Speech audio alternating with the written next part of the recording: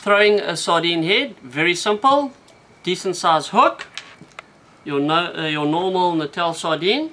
Simplest way to do it is you want to get a bit of that stomach in it and a bit of that silver flash.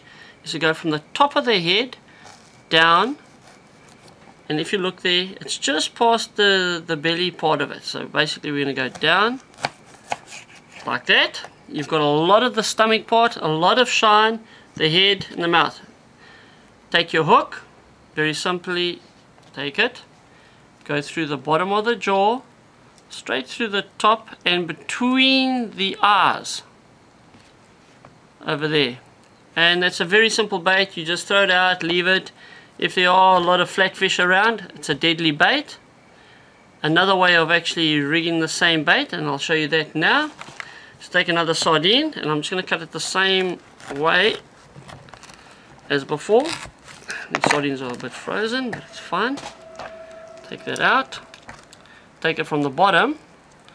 There is the hard part between the two fins over there. Go straight through there.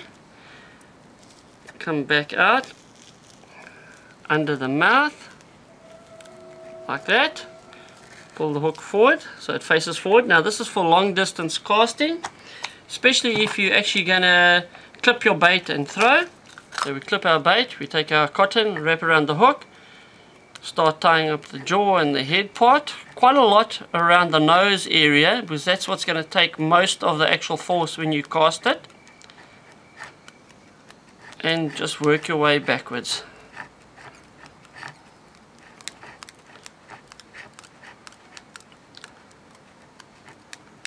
Very quick and effective way of throwing a sardine head if you're going to clip it onto a sinker.